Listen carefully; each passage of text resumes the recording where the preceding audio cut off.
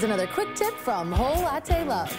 Hey, coffee lovers, Marc from WholeLatteLove.com. So, manual grinders have surged in popularity, especially for those who appreciate how much better coffee is when made from fresh ground beans. On top of that, grinding by hand really emphasizes the artisan aspect of brewing. But depending on the manual grinder you choose, you've got huge differences in the effort required, quality of the grind, and ease of use. So to highlight the differences, we've got a Hario ceramic coffee mill and the ROK coffee grinder. We'll compare how long it takes to grind, the quality of the result, and ease of use. Now the Hario has been around for a while and is a lower cost alternative. The ROK is newer, costs more, and just came off a very successful crowd-funded Indiegogo campaign. So first up, how much coffee can each grind in 30 seconds? I've set each grinder to a medium grind, about what you do for a drip or pour over coffee. I'm grinding steadily and trying to use about the same force with each. At the end, I'll weigh and see how much each can grind. One thing to notice right off the bat is the motion. The ROK grinder is more natural. Cranking in a vertical motion puts more of my effort into grinding. With the Hario, I'm using a lot of effort just to hold the canister in place while I turn the crank. With the ROK's longer handle, it feels like I'm using my power more efficiently. Okay, 30 seconds is up.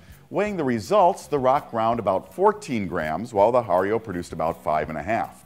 So in the same time, I ground nearly three times as much on the ROK. Taking a look at the quality of the grind, we see the ROK produces a very consistent particle size, while the particle size from the Hario has quite a bit of variation. Now that's important as inconsistent particle size results in uneven flavor extraction.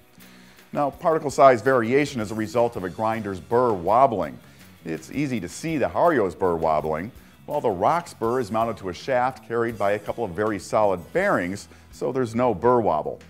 Setting grind size on the ROK is simple. A numbered ring allows for quick stepless adjustment. On the Hario, you have to remove a nut, remove a clip, turn the shaft, do a little guessing, then put everything back together.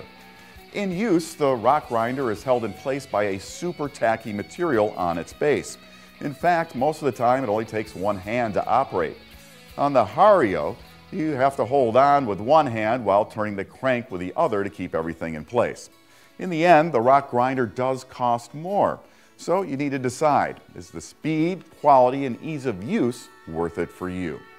I'm Marc from Whole Latte Love. Thanks for watching, and I hope to see you back here soon for more quick tips on everything coffee.